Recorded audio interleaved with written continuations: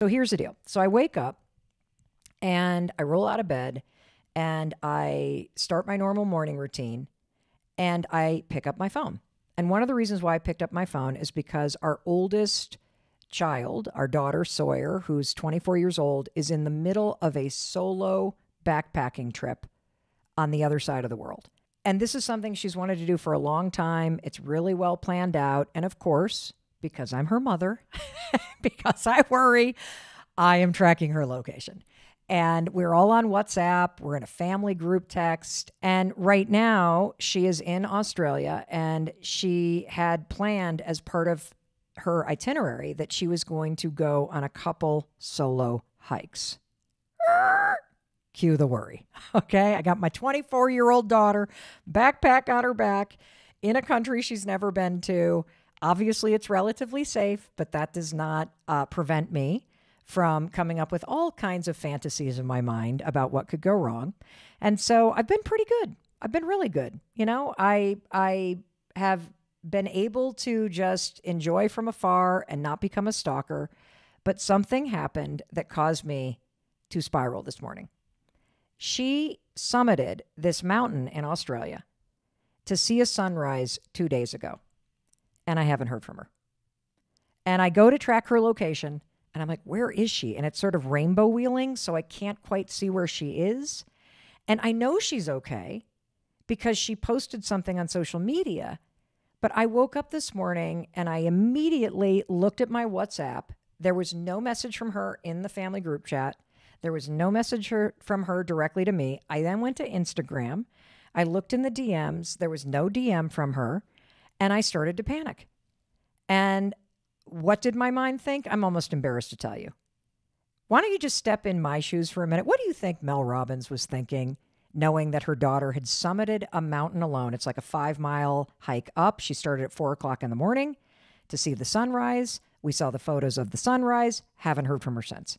What do you think my mind is thinking right now? It's been 48 hours. She's on the other side of the world. Oh, you know, I'm not thinking, oh, I bet she met some friends and she's out having fun. Or maybe her phone died. Or you know what, Mel? Maybe she's so busy that she doesn't have time to talk to you because the whole point of her trip is not to keep you posted of her whereabouts. It's for her to go out and have this incredible experience and to grow and to discover and to be brave and to explore. That's not what my mind thought. Nope. You know what my mind thought? She's dead. She fell off the mountain after taking the uh, sunrise photo, the woman is dead. Then I thought, no, no, no, maybe she got kidnapped. Then I thought, oh, no, she was sexually assaulted on the side of the trail. And somebody, I, I, this is disgusting, I know, but do not tell me that you don't do the same thing. That your mind goes dark. I'm talking gruesome, scary horror movie, dark, like in a nanosecond. And here's the thing I know that this is a terrible thing to do. I know that this causes me pain. And I bet you do it too. I know you do, in fact, because I've seen the DMs that you write to me. Whether it's you are worried about your money and you're constantly worried about something bad happening with your money or getting fired or forgetting about something for your kids. And that's where your brain is constantly settling.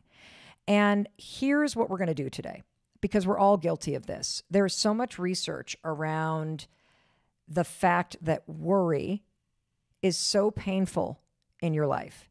Worry is a habit. This is a really, really bad spiral to get into. It causes you a lot of pain, it causes you a lot of stress. It can certainly bring on anxiety. And if you already struggle with a little bit of anxiety, it can make it a lot worse. It doesn't help with your confidence. And one out of three people, according to research, struggle with constant worrying. And so, what I want to share with you today is a six word sentence that I use all the time in these moments when I catch my mind spiraling.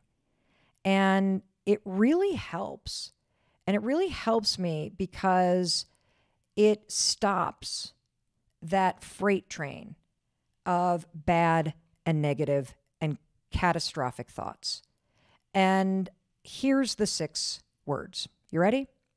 This is what I say to myself What if it all works out? So as I'm standing this morning in my underwear, I don't even have a bra on this morning. And I've already visualized my daughter uh, falling to her death off of a cliff in the middle of nowhere in Australia. Brushing my teeth and I'm starting to notice my anxiety rising.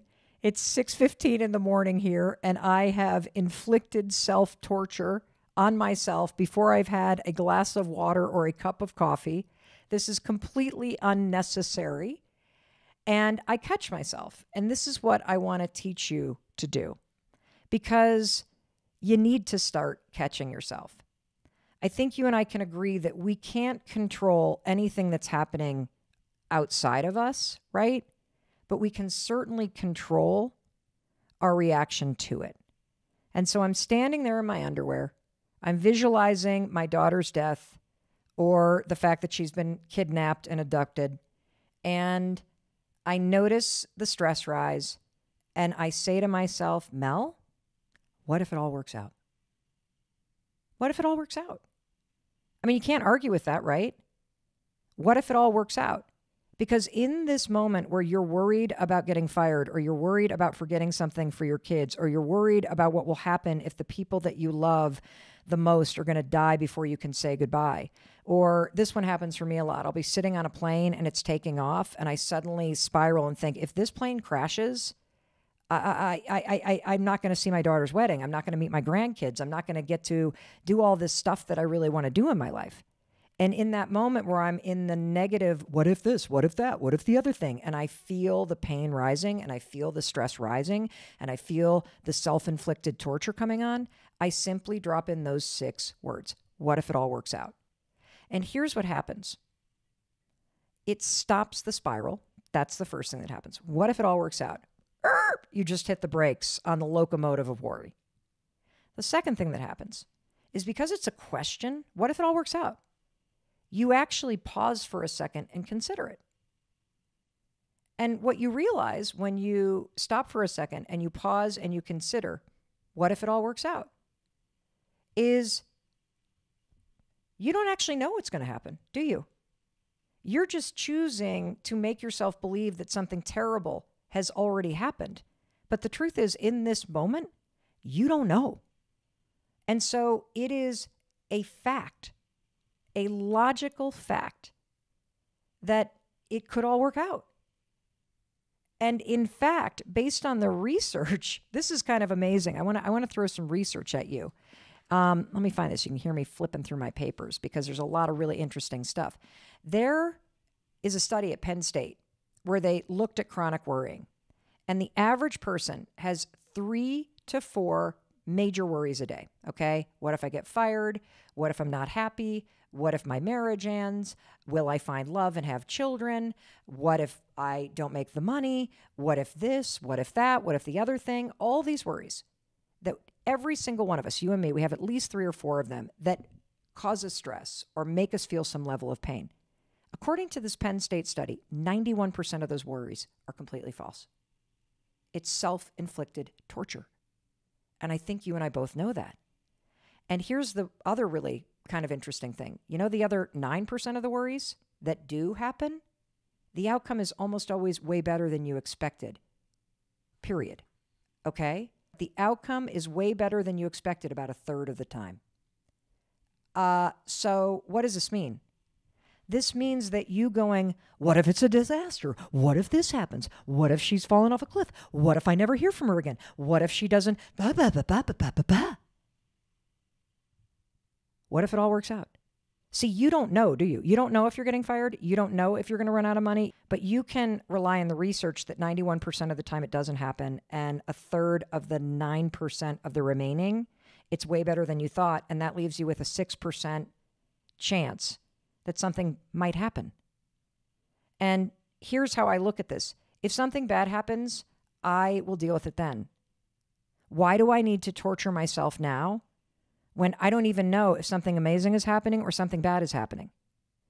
And so, what if it all works out is a way for you to catch yourself because you and I inflict so much pain, and it is pain. It's pain when you do this to yourself. It was painful to stand in the bathroom here in Salt Lake in my underwear brushing my teeth thinking about my daughter's death. And it's completely ridiculous. It's, it's not like, give me a break, Mel. Give me a freaking break. And I know all our fans right now in Australia and New Zealand are like, "Oh, she's fine." Like that that that that is ridiculous, Mel. It is it is so fabulous. People do this all the time. They hike that trail. It's wide, it's this, it's that. I know the mountain you're talking about cuz she went up for the sunrise. You're completely ridiculous. That's why you need this six-word sentence. What if it all works out? Because it will interrupt the spiral. And what we're going to talk about next is why it's important to interrupt the spiral. You know this based on common sense. Why go through life torturing yourself? Why allow your mind to dwell in worries about things that either haven't happened or problems that haven't resulted yet or situations that are beyond your control? Why do this? And I'm here to tell you, I don't want you to do this. And I want to bring in some spirituality real quick because there is this saying in Buddhism that I think is so beautiful and it's so relevant to what you and I are talking about right now. You ready? So, in Buddhism, any time that you or I suffer from some kind of misfortune, and the misfortune might just be that you haven't heard from somebody in a couple days, or it might just be that you got a bad annual review at work or it might just be that you suddenly got a bill or a diagnosis that scares the living daylights out of you. Okay? Anytime that a human being suffers some kind of misfortune in life, there are two arrows that get fired. You ready? The first arrow hits you when the painful event occurs. So this is the arrow that gets fired at you, like right in your heart. And for me this morning, as small of an example as it is, grabbing my phone, looking for my daughter's location, seeing a rainbow wheel instead of some sort of location at a hostel, thinking about the fact that I haven't heard from her since I saw the sunrise photo two days ago. That moment, ooh, was an arrow. Your arrow might be that somebody breaks up with you. It might be the number on the scale. It might be, again, that bill that just arrived, and you're like, I don't have a $1,000 to fix my car right now. It might be that you didn't get into the school you wanted to get into. It might be that um, you get, you start coughing and you're really worried about something going on because there's something that is a health diagnosis in your family. There is the first arrow. Boom, hits, right? The second arrow that gets fired is your reaction to what just happened. It's the arrow that you fire at yourself based on what you think next. And when you start to understand that life is going to fire arrows at you all the time, the research shows you get at least three or four a day. That triggers you to worry. The worry, the anxiety, the catastrophizing, that is the second arrow. And it causes you so much pain. And I'm going to prove this to you based on some research studies that they've done about how anticipatory worry or being afraid of something or this kind of negative thinking lights up the pain pathways in your brain. And I love this visual of the two arrows in life, right? That anytime you suffer misfortune, boom, two arrows fly in the air. The first one is fired by life, it hits you right in the heart. And the second arrow is the arrow that you fire right into your forehead. It's your reaction, and that adds pain. And this is also a concept that has been studied and researched extensively in psychology. What psychologists and psychiatrists call this is having a primary and secondary emotional response. So, your primary emotional response is your immediate reaction to having something bad happen, or a fear of yours, or some sort of expectation that you have. The secondary emotion that you feel, this is the thing that lingers is the emotions that you sit with in reaction to it. So, examples of this might be that when somebody dies, you have a primary emotion of profound shock and sadness and despair. It's that just avalanche that hits you. But the secondary emotion is the grief that can last a long time. And what we know based on research is that you don't really have a lot of control on the primary emotion but there are tremendous there are a tremendous number of things that you can do in order to shorten the experience of the secondary emotion that you have. And that's what we're talking about. We're talking about that second arrow, the pain you cause yourself. And we're talking about it specifically based on the pain that worrying and catastrophizing, assuming the worst, what that's doing to your health, to your mindset, to your nervous system, to your attitude, and to your ability to experience more joy and fulfillment in your life. And that's why I'm on a mission today to both stop myself from firing that second arrow at my forehead and interrupt it, grab it out of the air, so that I can assume something really good is happening. I can assume that it's all going to work out and I can stop torturing myself with all this shit that I'm making up anyway. And I want you to do the exact same thing. I caught myself going down a rabbit hole. I started worrying about something, then the worries became even bigger. And so, what I want to share with you today is a six word sentence that I use all the time